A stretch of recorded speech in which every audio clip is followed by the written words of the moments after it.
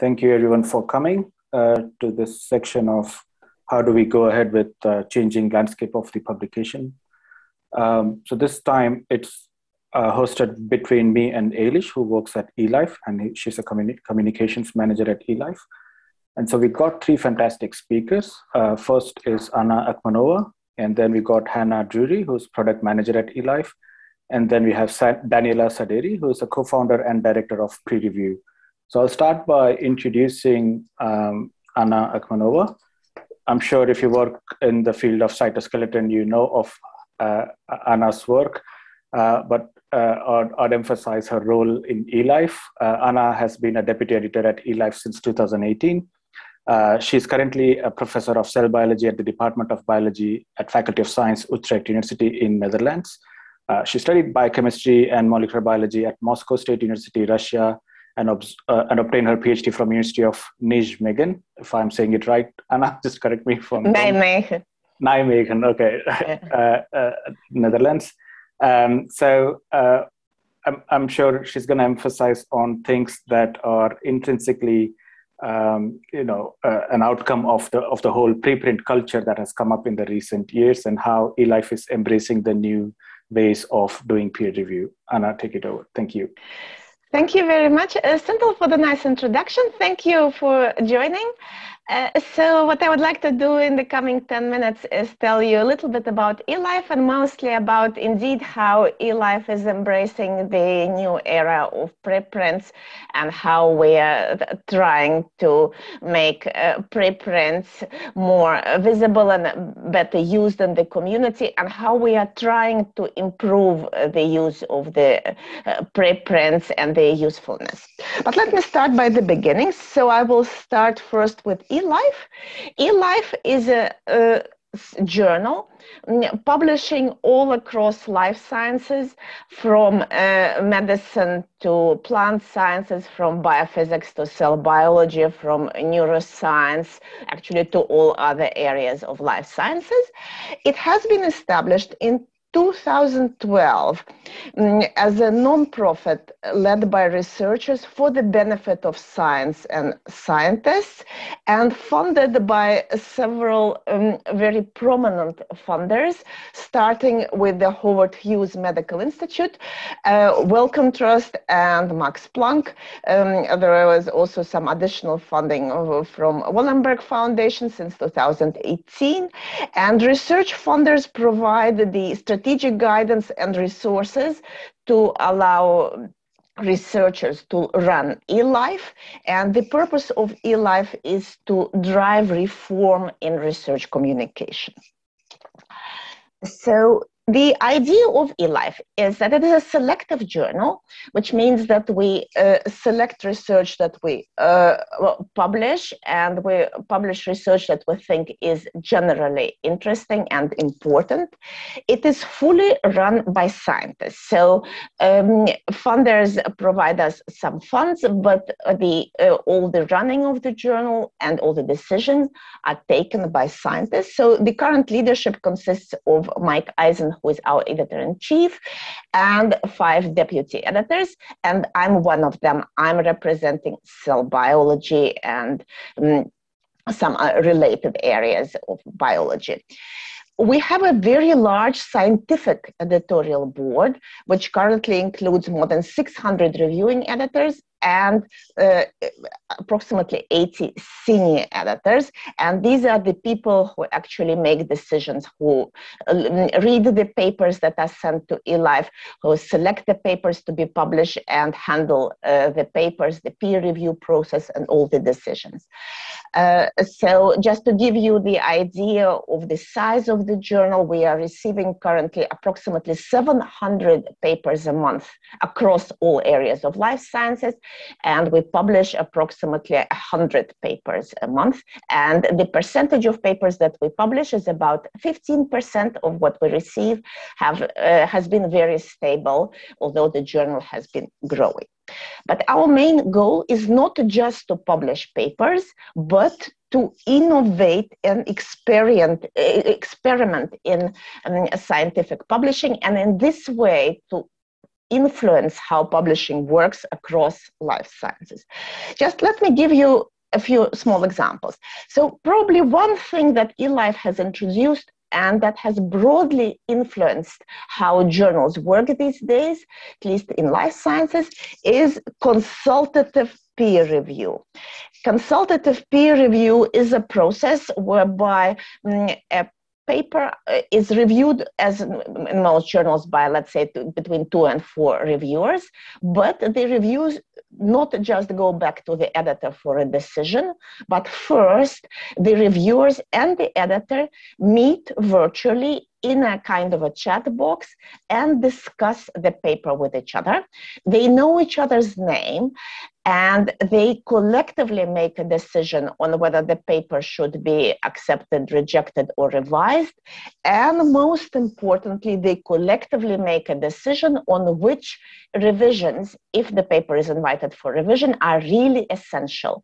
Because one of the main goals of starting eLife was to curb the number of revisions and revision cycles that the paper goes through before it's published. So basically, these people will be asking each other, okay, uh, John, you have asked for uh, this list of revisions, but are they really necessary? Do these people really need to make another transgenic plant line or another transgenic mouse? Do they need to redo all their experiments on a new microscope?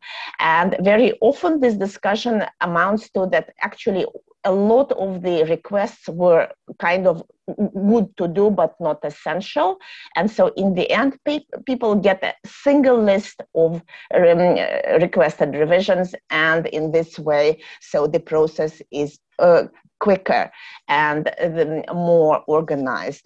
And also unreasonable requests of reviewers are reduced. So that's one example i gave i give you of how eLife has broadly influenced how publishing works because many journals have now adopted at least in some way this kind of model.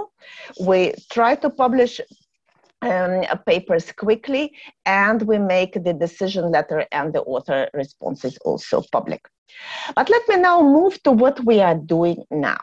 So, the biggest change that has occurred in uh, life sciences publishing since the last, I would say, maybe five years is the adoption and acceptance of preprints.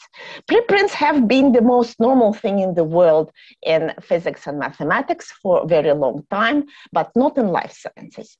And you can see here, so these are statistics for bioRxiv. So in, starting from 2016, the number of preprints have been growing.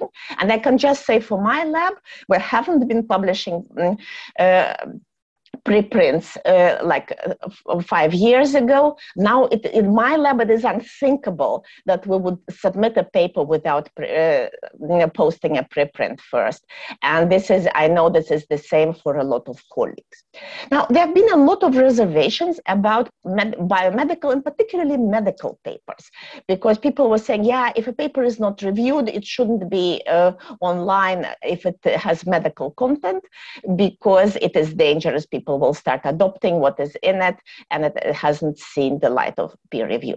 But this attitude has been dramatically changed last year, and this huge surge in preprinting came because of COVID. When COVID happened, a lot of there was a huge wave of papers. There was a pandemic, I would say, of publications uh, being submitted, and nobody, no journal could handle them. People wanted to bring them out quickly because that was essential, um, so that the information was disseminated quickly. And that's where medRxiv, that was slowly starting um, in 2020, suddenly surged. And now preprints are also a big reality in the medical world. Now, what are the advantages of preprints? Uh, currently, the big preprint servers like bioRxiv are for free.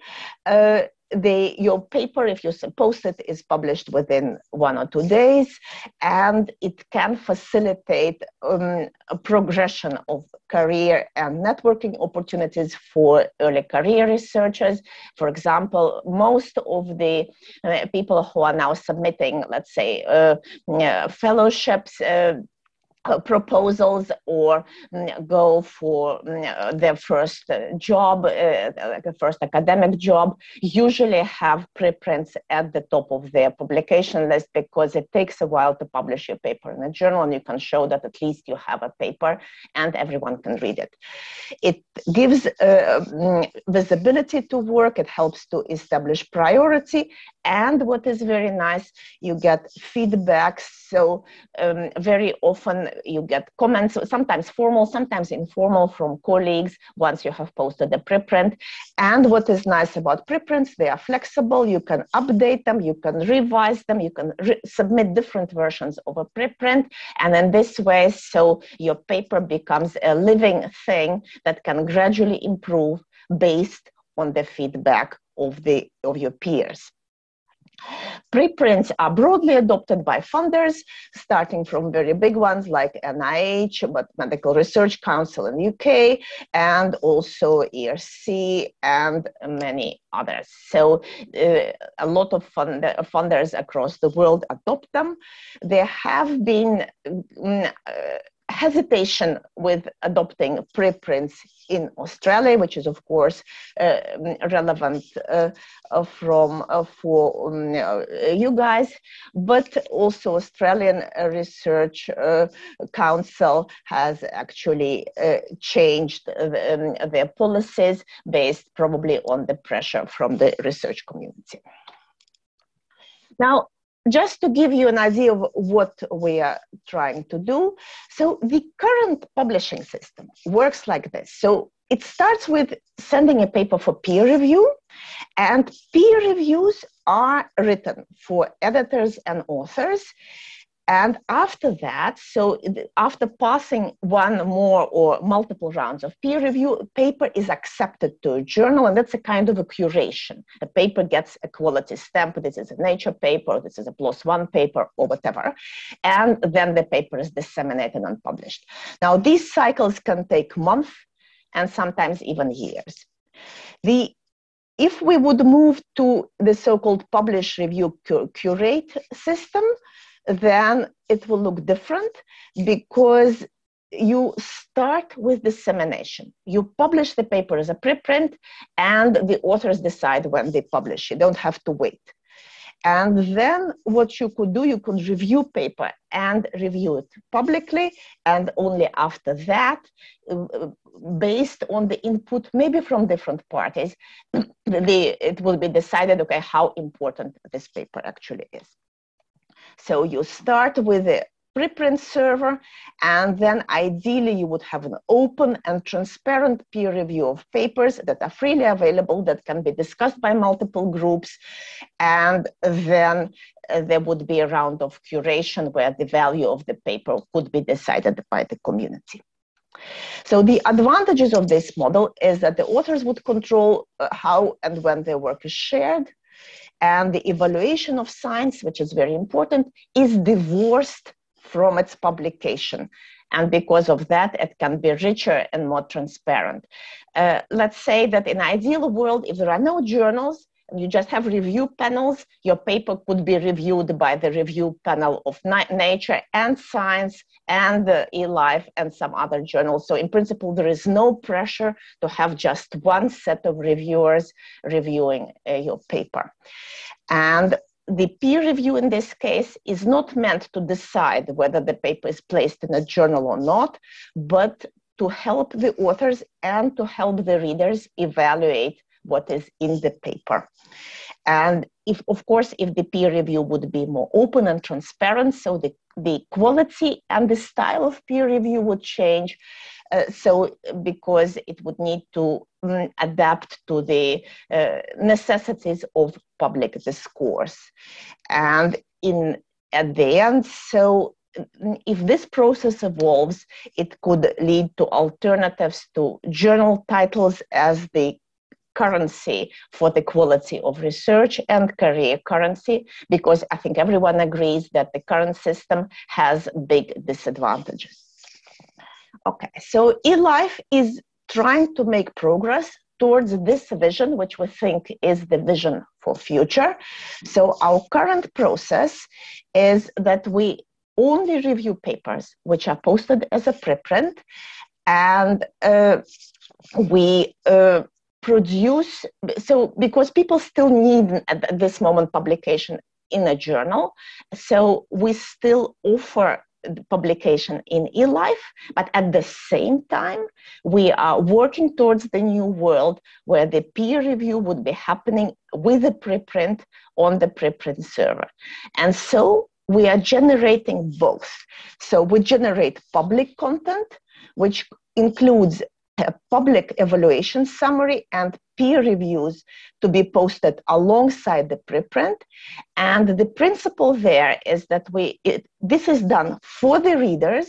So we review the paper as it stands. So we try to tell the readers what is in the paper, what is good about it, and if, if needed, what are the flaws, what are the problems with the paper, but in a constructive, polite, and uh, respectful way. At the same time, we also do what the journal would do. We provide constructive feedback to authors, private recommendations on how they can improve their paper, and we still do consultative peer review. And so we also generate an eLife decision, accept, revise, or reject. And for revised decisions, we still come up with a single list on how the mm, mm, authors would need to improve their paper in order to um, uh, make it acceptable for eLife. So the outcome of our process is a short summary which people could in principle use for their grant or job application saying let's say it's a fantastic paper describing a new method to visualize cells in three dimensions. And then there would be public reviews which would provide a, um, a balanced uh, overview of the paper. And the authors get the possibility to respond um, if they choose to the um, to these uh, public comments, and then there is a like with any journal, an eLife decision and recommendations to authors. Um, and for rejected papers, we still aim that the public content that we have generated, so the evaluation summary and public reviews, will be eventually published along the preprint. But if the authors uh, cannot proceed with publishing paper in eLife, so we um, can uh, delay the posting of these uh, mm, public reviews until the paper is accepted in another journal so that the possibility for the authors to publish their paper is not damaged by the criticism which is provided in these public reviews. So for this new system to work, of course, we need to work it out, we need to make it work well, and we need the community to get involved with this and help us to see how we can shape this system better. And so now I would like to give the word to um, um, I guess uh, Daniela or Hannah, who would then continue um, discussing how we do that. Thank you. Thank you very much. Um, so next, I would like to introduce Hannah Drury. Um, Hannah is the eLife product manager who will present on Sciety, a new platform supporting crowdsourced organisation of the growing preprint literature. Hannah will discuss how we can enable open evaluation and curation for a positive change in academic publishing. Perfect. Thanks, Eilish. Um, as Eilish said, my name's Hannah Drury. I'm a product manager for eLife, um, and around 18 months ago, I was invited to join a cross functional team. And the, the mantle was kind of handed down to us to build the technology to facilitate this PRC workflow that, that we've just heard Anna um, speaking about. Um, so by the end of today's panel, um, we'll have heard about the review models and the philosophies of two initiatives, um, eLife and, and PREreview. Um, and both of those initiatives are working hard to build the, the reputation of preprints. And I consider Sciety, the, the product, to be another cog in that, that great machine, if you like. Um, and it's one that makes the evaluation outputs of, of eLife PREreview and many others more easily discoverable.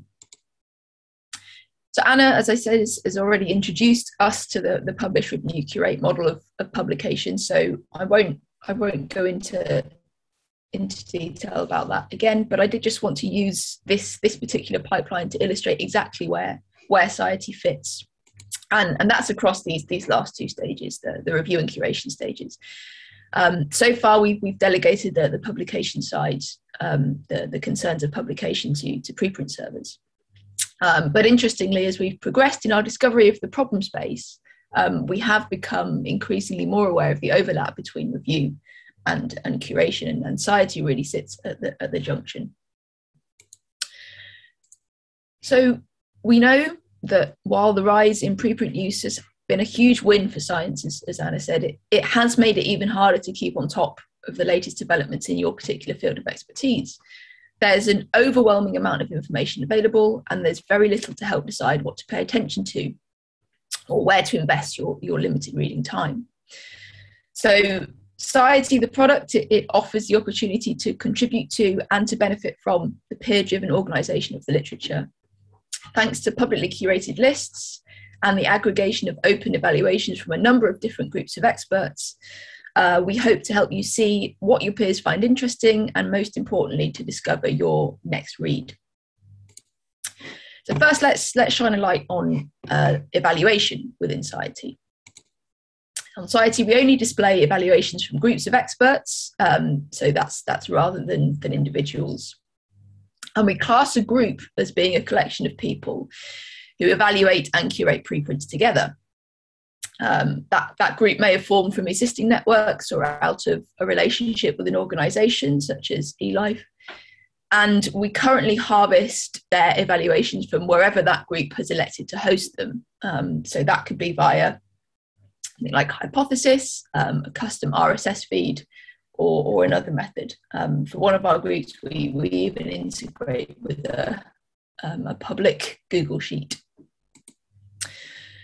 Um, preprint evaluations on Sciety take many forms, um, from automated screenings covering reproducibility to the more familiar multi-part review consolidated by a single editor.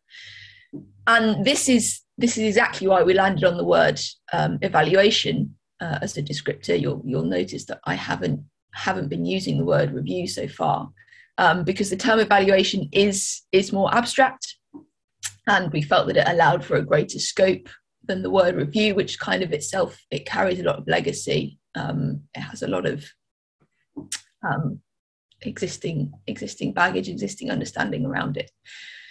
Um, but as long as the final output is transparent, we're completely agnostic um, with regards to the process that each group adopts. Uh, and that allows the reader to, to benefit from multiple perspectives, the reader and, and the author to, to benefit from multiple perspectives while formulating their own opinion of the work. Uh, and you can just see on this slide, I've, I've collated together some of the groups uh, whose evaluations are currently displayed on site. Journal publication um, usually relies on one positive consolidated review of a manuscript. Um, but but why should this be the case, particularly when the entire process commonly takes place behind closed doors and therefore lacks um, a sense of accountability? On Sciety, we don't limit the number of evaluations that an article can accumulate, um, meaning that we we do have examples on Sciety where more than one group has in fact evaluated the same paper. Each evaluation is openly available, um, and it's possible for the reader to indicate whether or not they found the comments helpful in their own assessment of the work. Um, and this, of course, allows for voices other than those of journal editors to be heard. And authors, meanwhile, they, they benefit from receiving feedback early from a number of sources, as well as the chance to reach a wider audience with their work that is, is publicly available as soon as they themselves deem it ready. The events surrounding each preprint, uh, including evaluations and version history, uh, they're presented as a stream of activity alongside the title and abstract. And in this way, Sciety calls into question the notion that any scientific work is finished at the point of publication. Post publication review, revision, and curation mean that a preprint can continue to evolve as a kind of living document without necessarily reaching completion. And at every step of the way, that history is completely transparent. So we've spoken um, a little bit about evaluation. So, so what about curation? Well, public uh, creation and management of lists of related preprints is an area that, that we're currently exploring um, because we've heard in our, our user testing how heavily researchers rely on recommendations from trusted individuals or, or particular leading lights within their field to match preprints to those who would who would find value in them. Uh, and we've learned that, that group evaluations, while they're helpful, they just aren't enough of a differentiator to, to really organise the, the preprint literature in a, in a meaningful way. Um, so this, this is what a list currently looks like on SCIETY. Um, we have plans in the medium term to make them more robust by allowing a curator to customise titles and descriptions, uh, as well as add additional comments to accompany each preprint that's added to the list. I've said that, that SCIETY is a tool for, for busy researchers, um, but, but how does that, that work in practice? SCIETY's unique value uh, lies in the underlying network of evaluation and curation events around preprints that powers our vision of passive discovery. Important new preprints are surfaced to you every time you visit SCIETY, rather than you having to perform the same manual searches over and over again in order to keep on top of the latest developments in your field. The first part of this network is the, the list of evaluated preprints um, generated by group activity. We've heard, I said, that, that this activity can take many forms. Uh, for example, automated screenings, um, multi-part peer reviews. And all of these are, are aggregated from different sources. And they all act as trust indicators that allow readers to make informed decisions about the content. Users can then elect to follow particular groups that are evaluating preprints in their area of expertise. Uh, and this means that new evaluations from those groups are going to be pushed under your radar with, with every return visit to SCIETY. Once you've found a, a preprint of interest, um, you can save it to your reading list so you can easily come back to it later. Uh, and that list itself is also publicly available uh, which means it can be used to benefit others, um, such as your such as your own lab. Um, and we've seen examples of, of labs sharing lists of preprints with each other in this way. Um, I say you can indicate if you found a particular group evaluation helpful, um, and this provides a, a simple way of, of, demonstrating for those groups what what a good public review looks like. Uh, at the moment, the, the network is limited um, by the number of curation and evaluation activities an individual or group can perform, um, but we do have big plans moving forward. I just wanted to cover um, just, just a few of those um, as, we, as we finish off this morning. As we layer on top more robust individual curation, um, in other words, the, the highlighting of particularly significant preprints in public lists, we see that the network starts to develop even more links. You might consider this activity a, form of light curation, uh, sorry, a form of light evaluation, um, particularly if we consider the possibility of custom names and, and descriptions of these lists. If, um, if a preprint appears in a list entitled Top, top Neuroscience Papers of 2021, um, then if you're a neuroscientist, um, that, that paper may be something that you want to pay particular attention to. What about groups that are both evaluating and curating? Um, well, groups, of course, they, they should be able to collect together lists of preprints to reflect, for example, um, papers that they've found particularly groundbreaking um, while they've been evaluating them, or papers that they're considering for review um, but they haven't got around to yet. Um, and that might help that group's particular followers to, to stay ahead of the game. And it's really in bringing all of these activities together uh, and using them to start linking relevant preprints with those who would most benefit from reading them, that, that SCIETY really does begin to become valuable. As you, uh, as a user, follow groups, people, and lists, um, SCIETY begins to surface and highlight more and more of the preprints that matter to you. And in turn, you're encouraged to save these preprints to your own public lists, making even more links um, in the network. So just finishing up, um, we're developing SCIETY completely in the open um, and we rely on feedback from users to help determine how we can best achieve our aims while solving problems for, for you as scientists. Um, and with that in mind, I, I, would I'd encourage you to take a look at, at the application today. Um, you can find us at sciety.org um, and to sign up to our mailing list, uh, which will help you keep abreast of the latest updates. You can find us on, on Twitter and Facebook at, at Sciety HQ as well. And thank you very much. I look forward to uh, to any discussion. Thank you very much, Hannah. And with that, I, now I'd like to introduce Daniela Saderi. Uh, Daniela holds a PhD in neuroscience. Uh, she is a former Mozilla Fellow for Science and co founder and director of PREreview. Daniela will now discuss peer review and how we can empower the next generation of peer reviewers. Thank you so much, uh, Elish, for the introduction, and Anna and Hannah for your um, wonderful talks that preceded me um, and also um, the Monash Universities and, and uh, for uh, inviting me. Um, okay, let's get to it. Uh, first, I just want to mention that the slides are available um, and they can be um, uh, used and reused under CC BY 4.0 at PREreview um, uh, dash Monash and the bit.ly link. So you're welcome to go there.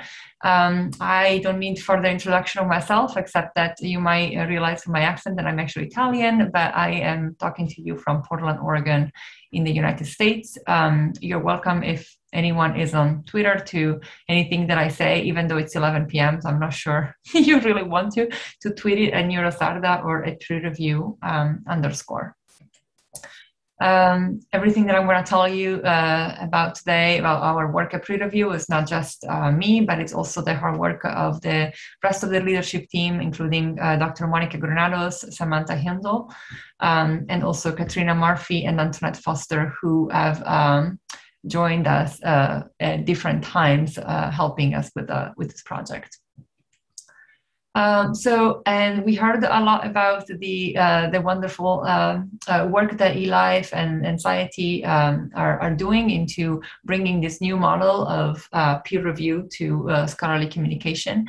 Um, uh, we start always with like what are what are the, the driving problems that we see um, in in the peer review system, and how are we trying to to address it. so, before I even tell you about what peer review is, I just wanted to to just briefly mention um, where are the, the drivers um, uh, of our work. And so we def- definitely see um, as a, we are not a journal, but as an independent uh, organization that, that we've you know, and of researchers ourselves. The pool of reviewers is um, uh, small, and uh, the many editors we've talked to uh, often uh, have complained about the insufficient number of reviewers and, and, and review requests, especially in during COVID uh, times. Um, and the composition of this reviewer pool is uh, very homogeneous, uh, very oftentimes, even though it can be difficult to quantify with a, a blind process. But if you look at the editorial um, uh, pool, uh, tends to be um, uh, very homogeneous and also selected uh, uh, quite often in a quite opaque way. Um, uh, and these reviewers are obviously selected as experts in the field. And yet, uh, there is not a universal training that we as researchers receive at any point in our career, at least not in the program and that I've been through um, in how to do a peer review. And so it's this assumption that we are experts just because we we we know about our research, but like we believe the peer reviewers is more than um, uh, than, than privilege or and practice or, or um, years of experience in your own um, um, uh, in your own field of research. Um, and also these, these reviews and all this time uh, goes often unrecognized. Um, so uh, at PREreview, we, we started in, in 2017 with this idea of uh, really uh, trying to bring together um, uh, researchers and kind of re-empower with the power that we already have of being uh, the, the center of, um, of, of, peer review and, and the center of um, evaluations um, and, and really bring that peer back to, uh, to the peer review world.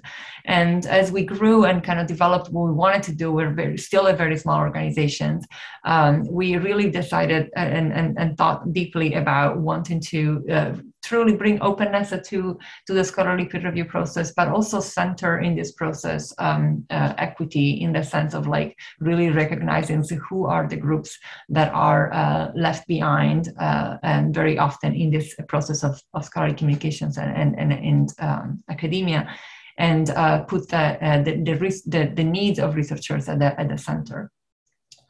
Um, so the the work that we do, and I apologize if I'm rambling a little bit, it's, it's a little late, um, but the, the center of the, the work we do, it can be uh, thought about um, around three pillars, as we call them. And so we um, uh, bring community together through uh, training programs. And so this is like kind of a to, in response to the need of the lack of, um, uh, of training that we have seen as researchers of ourselves and also talking to researchers around the world. Um, and uh, I'm going to tell you a little bit about them uh, during this presentation. We also organize uh, collaborative sessions of uh, when we basically bring researchers from all over the world to review a preprint um, uh, together um, during uh, an hour, an hour and a half of a facilitated call. And then we use the fruits of the discussion to compose a review um, and uh, share it with the authors and often uh, also share it um, uh, openly online in uh, the platform that we have been developing for the past four years now. Um, the platform is uh, open source and it's an open infrastructure. Uh, but really, what we're trying to do um, with the platform is to create a home for the communities that we want to see uh, thrive and develop around uh, open preprint review. And uh, the, one of the main questions that we asked ourselves as not uh, as software developers or designers, um, but it was really trying to understand who are we, why, if we're trying to embark in this, this was 2017, of designing a platform to allow anyone to review preprints, who, what are the, the issues that we're trying to solve and what are the, the shared values of the, of the researchers and the people that really we expect uh, to come and um, uh, and collaborate on a preprint review. And, and one of the key issues that we couldn't turn our definitely our our back um, to is that we really wanted to to center this idea of like using an equity lens to um, to kind of build this this new um, uh, community of preprint reviewers and not um, shy away from uh, the recognition that a lot of uh, oftentimes a lot of new projects even if they're developed in the open um, they it try it tends to um, uh, not recognize some of the issues that have been already existing in previous processes and they're trying to be reproduced in the open. And this is not nobody's fault. It's just the way that we are um, bring our own biases and when our own um, thoughts and experiences to even the idea creation. And so we've been trying to be um, of course with a, not, not, being perfect but trying to be very open and did a lot of um, uh, interviews and uh, one-on-one with many researchers. And, and, we still try to approach partnerships from this um, uh, point of view of like opportunity and creating collaboration. Um, so i'm gonna i don't have a lot of time to explain a lot of the uh, to show a lot of the features that are in the platform but i just want to highlight some of the main ones. Um, this is a, uh, a, screenshot of the just the front page of the uh, of, of the PREreview platform and the um, the key element here is that we're not a preprint server. We do not host preprints. Very similar to what Sciety uh, we leave that to the to the great work that many preprint servers are doing. But what the opportunity here is for anyone with an ORCID ID to um, provide a review of, um, uh, of a preprint that has a DOI. In this case, the first one that comes up here is a medRxiv preprint that um, had uh, six uh, what we call rapid reviews, and I'm going to tell you in a minute what they are.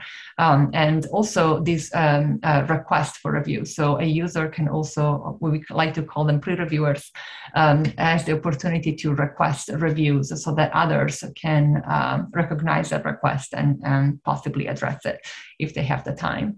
Um, the um, the two kind of reviews that can be done on, on pre-reviews are a, a rapid um, uh, questionnaire that can be filled up with um, uh, very potentially very very quickly if uh, someone has obviously read the preprint um, and um, and these questions have been really designed to capture the essence the essence of the preprint uh, and then if uh, the pre-reviewer has more uh, time or if they are reviewing um, their printing in a group for example this was uh, a review that was written by uh, six different people that were together during one of those collective uh, collaborative reviews process that i told you about excuse me then you can write what we call full pre-review so that is just free text um, that can uh, that is then published and gets a DOI via uh, Zenodo.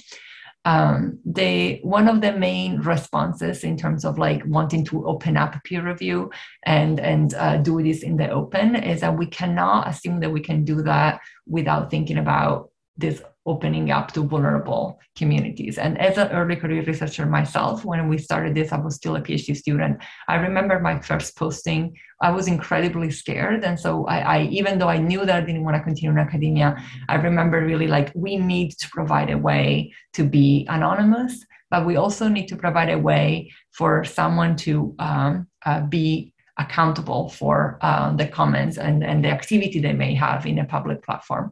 So we came up with this um, kind of idea where every pre-reviewer um, gets two different personas at the login and one is uh, public associated with your ORCID ID and your list of publications is and uh, anything that is public on ORCID gets important in your profile. So you can keep track and, and with this idea that eventually you know there is going to be more and more recognition of uh, contributions to peer review that, that researchers can use to advance in their career. But also this possibility of posting a review and a comment as anonymously with uh, it's a pseudonym that gets associated to your profile uh, when you create it um, and so what that allows is that uh, by using the pseudonym, you can still contribute, you can still share your profile with uh, a third party that you trust. Um, and but you, um, if there is a violation of the code of conduct that is reported by the, by other pre-reviewers, uh, by other community members, then the accountability element is still there as the uh, pseudonym is associated with um, uh, the public profile on our end. So there is that element. So far, we have not had that problem, but uh, we wanted to make sure that we can create um, a space that um, would f- feel safe and not just um, a place where everybody can just feel like it and judge in, in the way that uh, they want. Um, and so here is where I think, you know, that the platform was something that honestly like um, uh, funders were very interested in and we were interested in creating this home for a community that wasn't still there but uh, my heart and our heart uh, especially in the work that we've been doing with eLife in the past year has been really trying to also um, advance this um, process of, of, training and creating mentorship opportunity for researchers. And so uh, eLife was the, um, uh, the major sponsor of our pilot Open Reviewers program that um, uh, went on uh, in the fall of 2020. And this was uh, a cohort-based cohort-based training program in which we uh, paired early career researchers with little to no experience in peer review with uh, journal editors who volunteered um, to be uh, to be mentors. And the uh, the opportunity here was not only to be mentored one-on-one but also to have a peer peer-to-peer uh, learning that would happen every week and kind of building the uh, the, the, skills and, and the confidence in uh, the early career researchers in being then coming back to the program if they wanted to as mentors themselves. And we um, uh, intentionally integrated in the in educational focus on um, uh, like uh, exposing like uh, problems that uh, we see at the structural level of our society and um, also uh, how do we we see the repercussion of that into our systems and even the peer review process and trying to figure out how can we um, uh, assess our own biases as peer reviewers and then address it um, uh, at the same time. Um, so some of the uh, uh, the work that came out and the resources that we created, particularly Dr. Antoinette Foster was here was uh, key for this. Uh, we published um, what we uh, call the uh, reviewer guide, and this is just a, um, a very detailed step-by-step review guide that can allow a researcher that is has not much experience to um, uh, to do their first review um, and be guided through it. And here I just wanted to highlight that um, after many iteration, even when the, the pilot early career researchers giving us feedback, we recognize that really this process starts and ends with a self-reflection and with uh, assessment of our own, checking our own biases and how they come in. And it's so, so interesting to see how when we have those collective and, and um, collaborative sessions, uh, a lot of, um, of us and, and researchers like realize things that they have not perhaps seen uh, until uh, it was come and talked through. So there is this really important uh, part that we think um, can come from having uh, collaborative review discussions. Um, this is just a, the uh, part of the bias reflection guide that we also published, and it's just a process that um, we, we believe is um, helpful to go through. But I don't have obviously time right now to uh, to go through this, but I just wanted to show it so that if this is of any interest to you, these are all available openly on Zenodo under uh, open licenses. And there are these three guides, guides that um, we, we want to iterate upon with researchers. Uh, so if these are of any use, please uh, check them out. And the links are in the presentation. Um, the last things, and I think I'm taking way too much time now that I'm seeing the time, so I apologize for that. But um, I wanted to um, bring up some of the opportunities that we have been working with, uh, especially with eLife. And so those are basically re, uh, adapting the content of the reviewers and the training uh, to a workshop um, type, but also working in partnership with other organizations that are actually doing the work in their own communities, such as AfricArXiv, this is the African Aid Africa, uh, to adapt the, the content of this training um, and, and, to to the, the context of the uh, um, uh, research communities in Africa um, and um, uh, develop a model that can allow the amplification of this without having us or, or someone specifically to be there, but could be like just uh, openly uh, propagated. And so I will uh, move on because I I'm way too sleepy and probably took way too much time. Uh, the last part was just uh, um, sharing opportunities with you. The only thing that I want to mention is that we are hiring for a specific uh, job to help us adapt open reviewers to actually grant reviewing. So if you're interested, please uh, uh, check out the job and apply. And I want to thank you for your um, attention and apologize for taking way too long. Thank you. Absolutely no problem, Daniela. Was fantastic. Thank you, everyone, for your presentations. We can take some questions. Um, Harry, would you like to go ahead and ask your question? Hello. Um, yeah, so my question was regarding um, Sciety and how the actual commenting um, forms work. Uh, with regards to the groups, um, how does a group form? Can any group of researchers form one? And is it possible to comment and start a dialogue around these preprints without belonging or having an, an affiliation to any of these groups? Uh, hi Harrison, thanks thanks for your question. Um, so at the moment, the formation of those groups has been quite manual.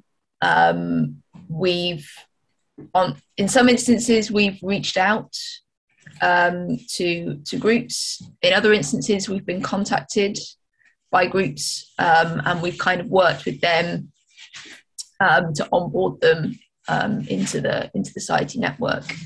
Um, the reason why we elected to only allow evaluations from um, groups rather than from from individuals without without a, a kind of a group affiliation, as, as you say, um, a, a, lot of it was for exactly the same reasoning um, that that Daniela's PREreview um, platform allows for um, anonymized um, reviewing, um, is that we found that for us, groups was a good way of kind of maintaining.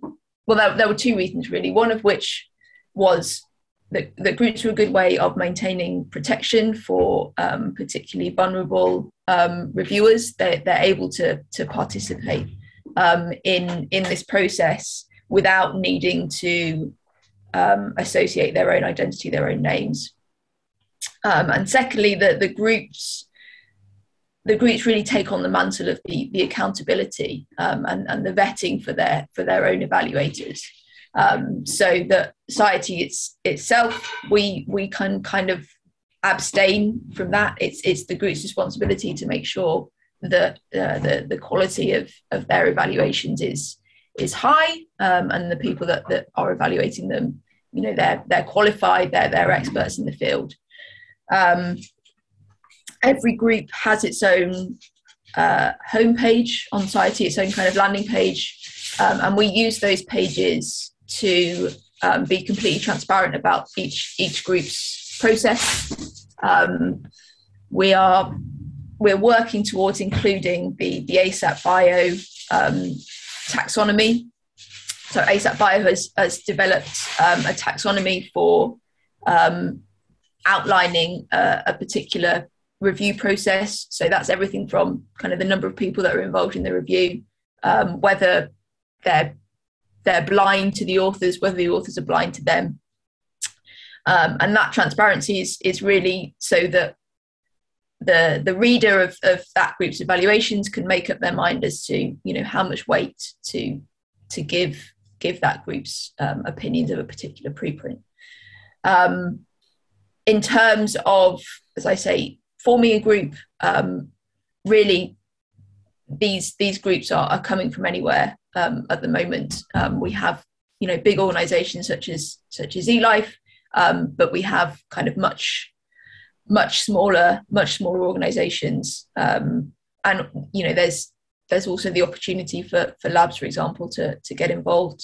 Um, but yeah, please if if you're if you're part of a group um, that you think could could fit that remit, then please do please do get in touch and, and we can work with you to. You can to you can review through PREreview and then it will be a group on Sciety. Yes. Perfect. Because that's, that's something that I was going to sort of ask. That is there any plan to have um, a Sciety hosted group, or are there enough groups forming? You think that um, that that will there will be enough groups organically for people to be able to join and to become sort of part of and rather than take that mantle of accountability, as you talked about, um, onto Sciety itself? We, um, so at the moment, we don't have any any plans for for, for Sciety Sciety created groups, um, but that's not to say that that we're completely ruling that out out of the future. Um, the best way for, as, as Danny says, the best way for, for particular individuals to get involved right now would be um, to to review via PREreview, um, and then PREreview PREreview then kind of takes on that that accountability um, and the the kind of the umbrella umbrella protection for you know for particularly vulnerable um, reviewers, early career researchers in particular, those from you know the global south, minority groups, that kind of thing. Not just the PREreview there are other great groups. So preLights and the pre-peer communities they have different ways of doing it. But um sorry just wanted to not just say the best way is to do PREreview but that's a, anyway. Thank you though anna for the trust. Thank you for those answers and thank you for the great talks Thanks, Anna. Um, I have got a question for Anna. So this, this review curate model.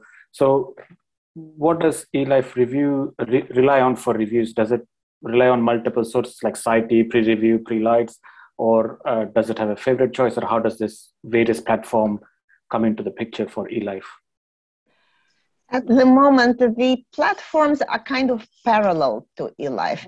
So we still just run our conventional uh, review process and we see how we can plug in the reviews we generate for eLife on the platforms.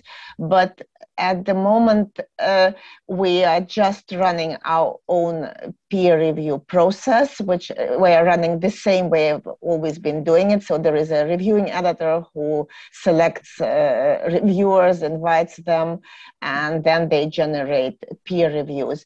So our emphasis inside eLife itself at the moment is to make those reviews suitable for public consumption, which means that once the reviewers have submitted the reviews, we will often go back to them and say, hey, this is not written in a language that would be entirely appropriate for public posting? Can you uh, soften it a bit, or can you be a bit more clear on it so that because your review is really written for insiders, there is too much slang in it. So please make it a little bit more useful for the readers and not just for the authors and editors of the paper. So, but we are just working. What we are doing is working inside the life. So, of course, the idea would be to interact with these platforms, but the whole process is new Mm-hmm. So we only introduced it in 21 so that's uh, like this year. And i must say that a lot of reviewers we have very clear instructions on what we want the reviewers to produce. Mm-hmm. but as you probably know people tend not to read any instructions. So we have to still to work out uh, how to do this better. And then i think we can converge more with the platforms. So this is the plan so uh, my next question is between eLife Sciety and PREreview, you've got a very uh, concerted aim to, to put the reviewers uh, in public and make it more equitable, etc., etc. But there is this other market of big journals which have their own uh, traditional processes. So, how? What's the strategy, or do you have a strategy to sort of combat that, or operate in parallel and gain prominence in future? I think we have to gain prominence, we, get, we have to gain popularity, and then the big journals will follow. So, what I see that, I mean, think about nature like six years ago. Uh, the embargo at nature was the biggest thing ever. Yes? So if you were submitting your paper to nature, you were not supposed to, to talk about it. And then on the same day it was published, then you were allowed to talk to the journals. Now, uh, all the papers that you submit to nature can be pre-printed which means that everybody can read them on average one year before nature will publish them. So this is a huge change for a magazine like nature because they lost one of their most essential uh, assets the novelty the pr- pr- like the, pr- the primary novelty of what they are publishing. So because now you see oh yeah good for these guys i read this preprint like a year ago ago was very cool. Preprint got that they got it in nature so they got the curation step. From nature you don't even go and read the paper anymore because you have discussed it on your journal club like eight months earlier. So this is a huge shift. I mean uh, and so this shows that the community can vote with its feet and lead the way. So that in the end uh, the big publishers they are interested in making profits so they will follow what the community wants. So if we manage to introduce something that is popular with the community they will follow. The same was with consultative peer review. I mean i you know i've been dealing with digital biology a lot in my life. So it used to be like three huge reviews from uh, reviewers and then the, the editor throws it at you and say do every single thing. Now after we have introduced consultative peer review, they changed that. So the editor would really read the comment, say, okay, please do the comment of review one and the comment five of review two. So they changed that. So again, I mean, the big journals, I don't think that they are very innovative in what they are doing, but if we can innovate and the community can say, yeah, this is a good thing for us, they will follow because they what they want is not to lose the community. Yeah, that's very true. It's a great example with the embargo. Um, uh, so, are there are there more journals than eLife that have signed up for this kind of uh, process, or is eLife the only journal that's leading the way here? You mean for the preprints? Uh, so, for example, mm, uh, the Review Commons, which has been uh, set up by EMBO mm, Publishing uh, uh, Group, so they have um, also in principle they are interested in promoting preprints and also mm, making reviews public mm. and all the big publishing houses now do have preprint servers mm. so that's also a big change so there is this uh, uh, what the, I, both uh, Nature and Elsevier have a preprint server. They don't publish reviews there, but maybe if they see that it is an advantage, they will follow. so, and in principle, there are more platforms and more initiatives for mm, publicly reviewing preprints.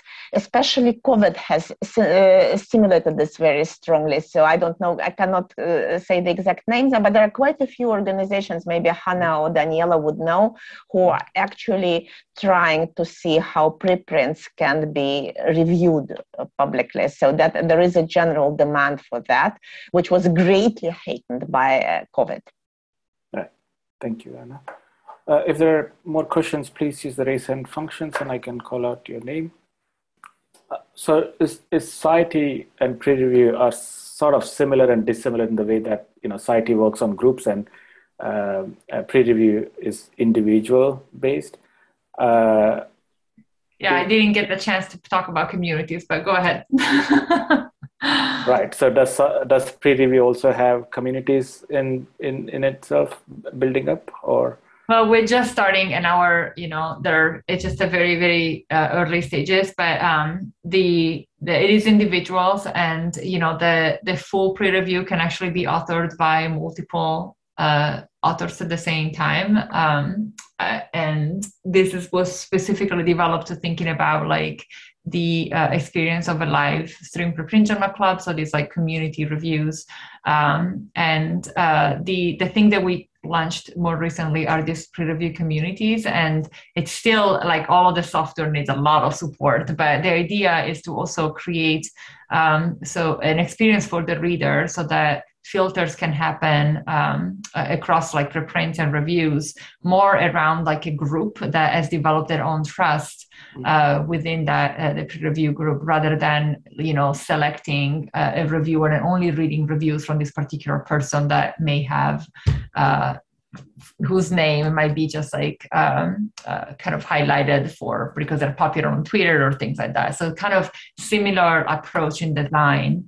Um, and what, what I'm hoping that is going to happen more and more as we kind of continue working together is that these different groups and communities that can grow on, on PREreview then are actually separately streamed to Sciety so that they can be followed uh, because they, they actually create around different identities and around different experiences and different topics uh, but that's not yet happening right yeah okay. so uh, at the moment at the moment we kind of everything that's coming out of PREreview um, is is being displayed in within Sciety under under the the, the PREreview um, banner. Um, but it'd be right. great, you know, if, if, we could kind of start start separating these out. Um, I think the the more options that there are available um, for for people to to kind of turn to and, and use, um, the better. I I you know I, I see I see all of these initiatives as as living kind of side by side um, and and just you know moving forward into the brave new world together. Sure. Yeah. Yeah sounds very exciting. I mean I, I, guess it's all too early and all too new but but the change is important and it's all coming through. Um, i see no more questions and i know all of you have either gotten up at weird times or staying up late so i'll uh, let you guys go. Thank you very much again for accommodating the time zones and giving these fantastic presentations and uh, putting forward all the new things to come to, to us. Thank you very much. Thank you for having for having me and us. Yeah, thank, thank you very much. Thank Thanks, you. Anna. Thanks, Anna. Nice meeting you. Bye. Bye, everyone. Bye.